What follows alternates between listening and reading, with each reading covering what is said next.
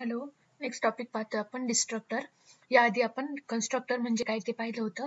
Constructor म्हणजे काय आपलं सॉरी म्हणजे आपण ज्याच्यामध्ये कन्स्ट्रक्ट करतो मेमरी अलोकेट करतो.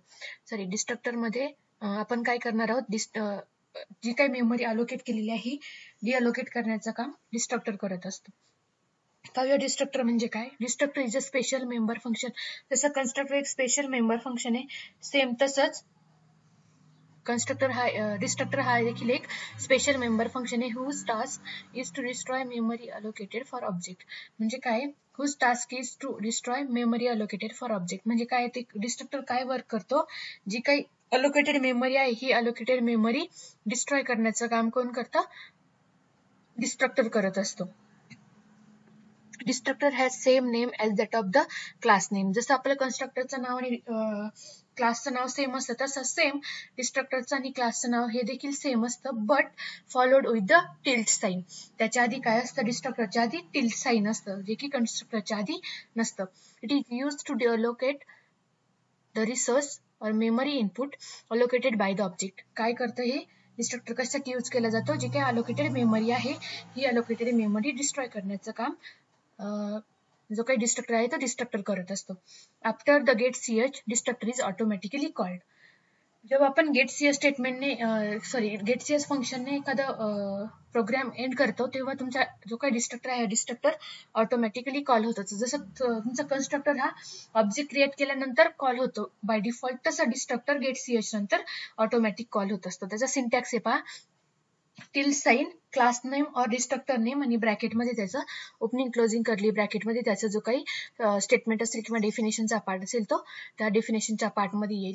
ठीक आहे? आता कन्स्ट्रक्टर आणि डिस्ट्रक्टरमध्ये काय डिफरन्स येईल मेन कन्स्ट्रक्टर हा मेमरी अलोकेट करण्याचं काम करतो. डिस्ट्रक्टर हा मेमरी डी अलोकेट करण्याचं काम करतो. कन्स्ट्रक्टर आणि डिस्ट्रक्टरचं नाव हे नेहमी सेम असतं क्लास नेमचं पण डिस्ट्रक्टरच्या आधी आपण टिल्ट साईन यूज करत असतो. ठीक आहे? याचा एक सिंपल प्रोग्राम पाहूया आपण.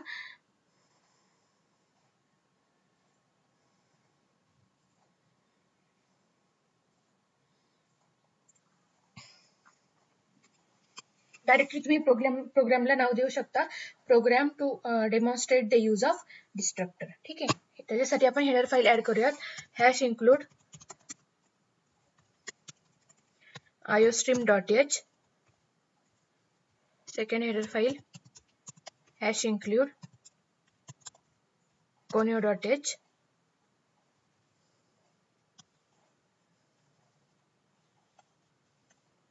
त्याच्यानंतर क्लास घ्यायचा आहे सपोज मी टेस्ट नावाचा क्लास घेतला. ह्या क्लासमध्ये काय करणार आहे मी? एक व्हेरिएबल असाइन करणार आहे व्हेरिएबल म्हणजे काय करता इथं जी काय मेमरी अलोकेटेड मेमरी असते ही मेमरी कशावर डिपेंड असते? आपल्या ऍड्रेसवर मेमरी ऍड्रेसवर डिपेंड असते. म्हणजे तुम्हाला इथं जे काही व्हेरिएबल यूज करायचे ते सगळे व्हेरिएबल तुमचे पॉइंटर थ्रू असाइन केलेले असतील. ठीक आहे? पॉइंटरचा पार्ट तुमचा जो काही सी लँग्वेज तुम्ही शिकलात त्याच्यामध्ये पॉइंटर पॉइंटर काय असतं? ऍड्रेस ऑफ ऑपरेटर काय असतं? अँड पर्सेंट काय असतं? हे सगळं तुम्ही पॉइंटरच्या कन्सेप्टमध्ये पाहिलेले. पॉइंटर काय करतो? मेमरी अलोकेट करण्याचं काम करतो. ऍड्रेस स्टोअर करून ठेवण्याचं काम करत असतो. ठीक आहे? म्हणून मी इथे एक पॉइंटर व्हेरिएबल इनिशियलाइज करते किंवा अलोकेट करते. पॉइंटर पी नावाचा. ठीक आहे? म्हणजे काय? आपली थोडक्यात इथं मेमरी अलोकेट करून ठेवलेली आपण. पी या व्हेरिएबलसाठी नंतर इथं काय करतोय आपण एक कन्स्ट्रक्टर घेतोय. डिफॉल्ट कन्स्ट्रक्टर ब्रॅकेट सॉरी आता डिफॉल्ट कन्स्ट्रक्टर इथं काय करणार? आहे आपण मेमरी अलोकेट करणार. आहे ठीक आहे याच्यामध्ये. आता इथं मेमरी अलोकेट करतोय. P equal to new I N T ठीक आहे. आता न्यू हा कीवर्ड कशासाठी यूज केला जातो? न्यू ह्या कीवर्ड थ्रू काय केलं जातं? जी काही मेमरी अलोकेट करण्याचं काम न्यू हा कीवर्ड करत असतो. म्हणजे इंटिजर जो काही पॉइंटर पी नावाचा व्हेरिएबल आपण असाइन केलाय त्या पॉइंटर पी या व्हेरिएबलसाठी काय केलं आपण? एक इंटिजर टाईपची मेमरी अलोकेट केली आपण पी या व्हेरिएबलसाठी म्हणजे किती? टू बाय एवढी मेमरी आपण मेमरी लोकेशनमध्ये ऍड्रेस ऍड्रेस जो काही आहे तो टू बाय एवढा असाइन करून ठेवलेला आहे आपल्या मेमरीमध्ये न्यू कीवर्ड काय करतो आपली? मेमरी अलोकेट करण्याचं काम करतो. मेमरी अलोकेशन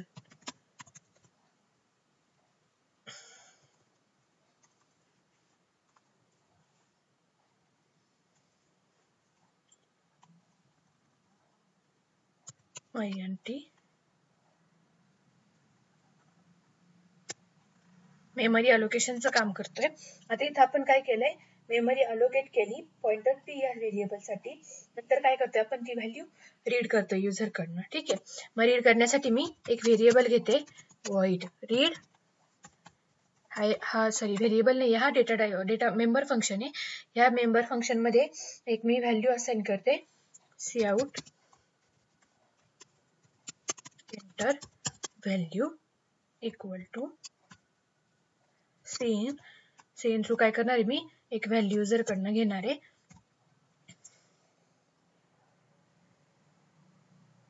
आता काय करायचं आपल्याला? डिस्प्ले करायचे तोच पाठ वर्ल्ड डिस्प त्यासाठी मी डिस्क फंक्शन यूज केलं.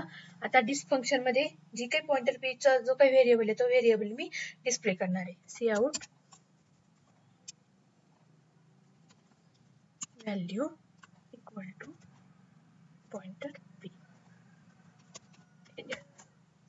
endl next लाईनला येईल. आता याच्यानंतर काय करतोय आपण? डिस्ट्रक्टर यूज करतोय. डिस्ट्रक्टर डिफाईन करतोय. डिस्ट्रक्टर डिफाईन करण्यासाठी आधी टिल्ड साईन नंतर तुमचं क्लास नेम ठीक आहे? ओपनिंग क्लोजिंग ब्रॅकेट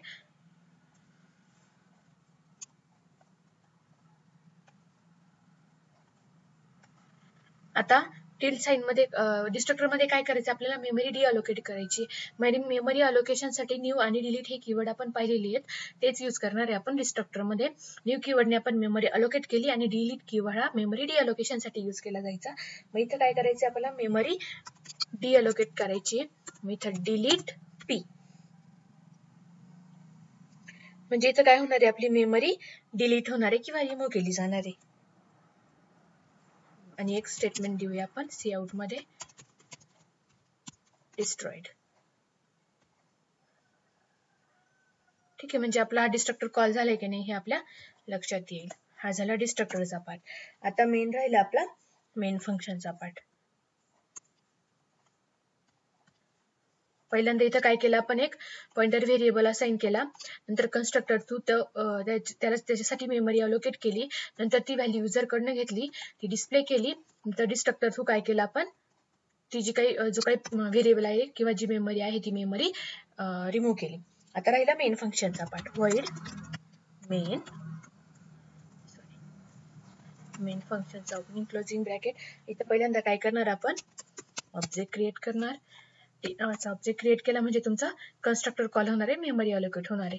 नंतर read function read function through युजरकडनं एक व्हॅल्यू घेणार आणि नंतर T dot dis function dis function through तुम्ही काय करणार? ती व्हॅल्यू डिस्प्ले करणार आणि लास्टला जेव्हा तुम्ही गेट सी एच यूज करता तेव्हा तुमचं काय होणार आहे? डिस्ट्रक्टर कॉल होणार आहे आणि तुमची जी काही मेमरी आहे ही मेमरी रिमूव्ह होणार आहे.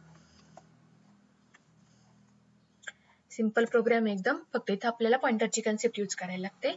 पॉइंटर सगळ्यांना माहिती आहे. जे काही रेग्युलरचे मुलं आहेत त्यांना. थँक्यू रन करून पाहूया आपण हा प्रोग्राम कंपाईल ओके एरर्स काय? Spelling mistake hash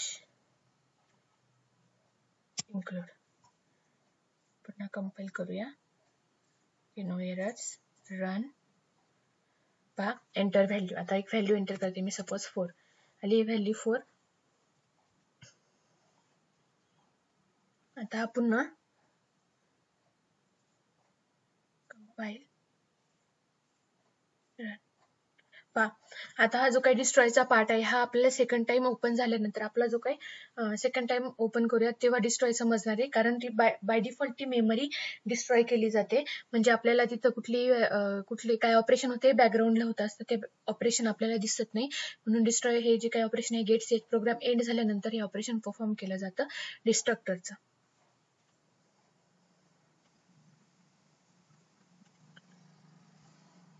thank you